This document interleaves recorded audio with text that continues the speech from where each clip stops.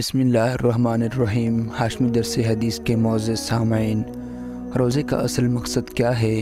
रोज़ा तमाम मुसलमानों पर क्यों फ़र्ज़ किया गया? इसकी नॉलेज क्या है? आज की इस वीडियो में आप जानेंगे। वीडियो में एंड तक रहिए ताकि कोई भी इंफॉर्मेशन आपसे मिस ना होने पाए। वीडियो में आगे बढ़ने से पहले, अगर आप हमारे चैनल पर नए हैं तो चैनल को सब्सक्राइब करके बेल आइकन के बटन को भी प्रेस करें ताकि हमारी वीडियोस की नोटिफिकेशन आप तक बसानी पहुँचती रहे।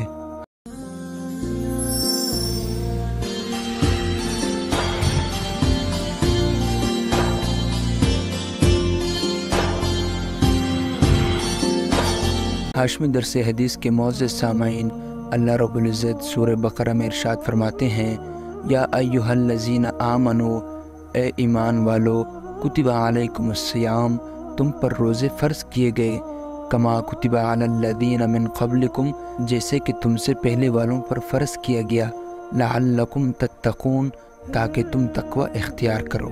इस आयत से साबित होता है कि हमत सोम तकवा है। तकवा किसे कहते हैं? किस चीज़ का नाम है?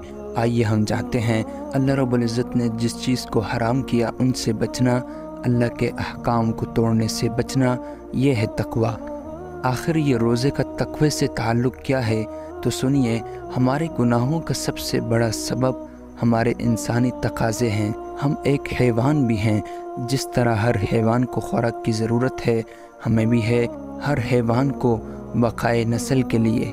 तकाज़ा जिनसी लाक है, हमें भी है हर हैवान को कोई ना कोई सर छुपाने की जगह चाहिए, कोई घोंसला या कोई बिल वगैरह।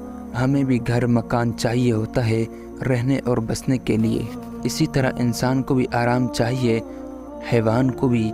ये सारे हैवानी तकाज़े जिनको हम अंग्रेज़ी में कहते हैं एनिमल स्टिंग, ये हमारे वजूद के अंदर है और इनका तकाज़ा हमारे अंदर से उभरता है। ये जो कैफियत इंसान की है, इसके लिए अल्लाह ने रोज़ा फ्राहम किया।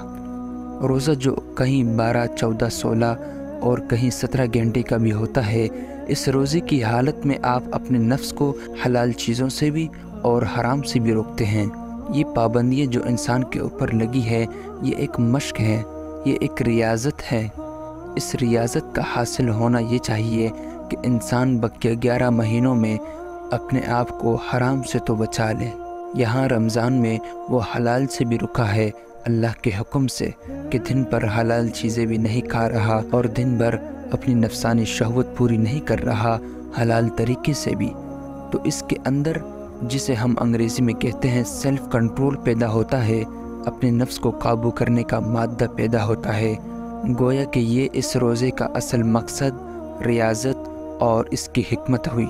कि इस रोज़े की वजह से इंसान में सेल्फ़ कंट्रोल पैदा हो जाता है, नफ्स पर काबू पा लेता है। आज की वीडियो का अख्ताम करते हैं। मिलते हैं अगली वीडियो में। अब तक के लिए इजाज़त। असलकम वरहमल वर्का